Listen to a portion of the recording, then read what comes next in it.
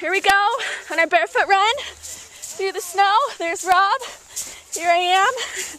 It's not that bad. It's kind of Refreshing. refreshing. Yes, Yeah. numbingly refreshing. I was telling Rob the most painful part is getting back on the sidewalk. It's a little bit stingy.